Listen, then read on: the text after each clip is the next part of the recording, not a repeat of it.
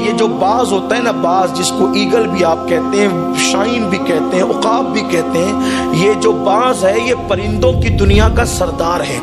इसीलिए इकबाल जैसे मुफक्र की पूरी शायरी उसी ईगल के इर्द गिर्द घूमती है। और इकबाल जो है, वो जब भी नौजवान मुसलमानों को मुखातिब करते हैं तो उकाब और शाहीन कह करके मुखातिब करते हैं। इसलिए कि ये परिंदों का बादशाह राजा है परिंदों का। इसकी खास शान है।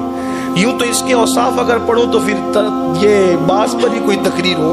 तो मैं बास की तकरीर करने नहीं बैठा, मैं बाज या शब की बात करने बैठा हूँ। तो लेकिन आपको ये बताना चाहता हूँ कि इस बाज में तीन खसूसियत होती है। जो इकबाल ने अपनी कौम के जवानों को कहा ना कि तुम बाज हो बाज तुम गीदड़ नहीं हो, तुम बिल्ली कुत्ते की तरह नहीं हो, तुम बाज हो। परिंदों की दुनिया के ताजदार है बाज शहनशाह तो तुम भी इंसानी कायनात के बादशाह और ताजदार हो, अशरफुल मखलूक़ात हो, बाज की तीन खसूसियत है।